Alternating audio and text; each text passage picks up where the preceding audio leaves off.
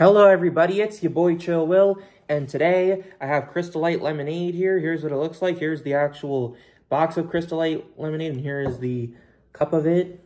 So let's try this.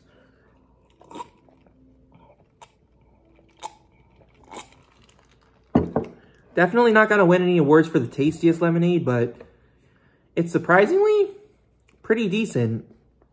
Definitely not my favorite, though.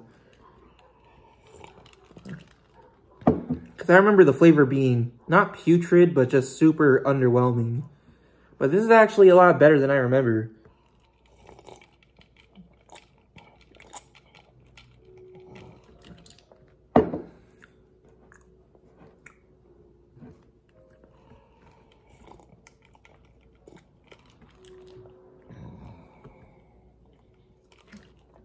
I could never drink this all in one sitting, but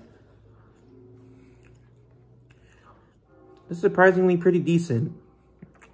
It's very diluted and kind of flavorless, despite the tanginess. There's like not really that overwhelming amount of flavor, but there is some flavor in there.